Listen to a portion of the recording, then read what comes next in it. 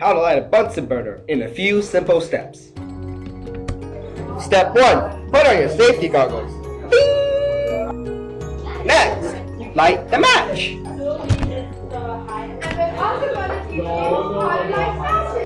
So, what do you do with the match? Well, use a flint.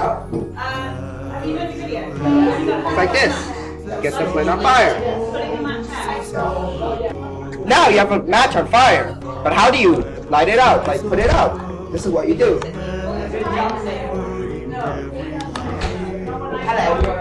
Now that you have the flint burnt, this is how you turn on the gas.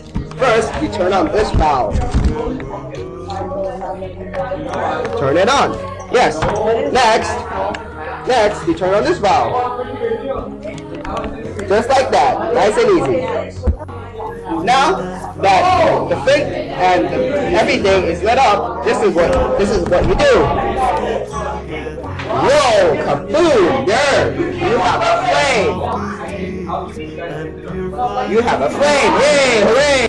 So how do you get from a yellow flame to a blue flame? Well, this is what you do. You see this bow on the bottom? Yes, you just turn that. That's all you need to do. Yes, nice and easy. There we go. Good job, Bravo. And now you're an expert in How to light a bur- Bunsen burner. proceeded from Tower things are heaven. Beyond our cause, have faith in Him, pay homage through fine halls. Pay homage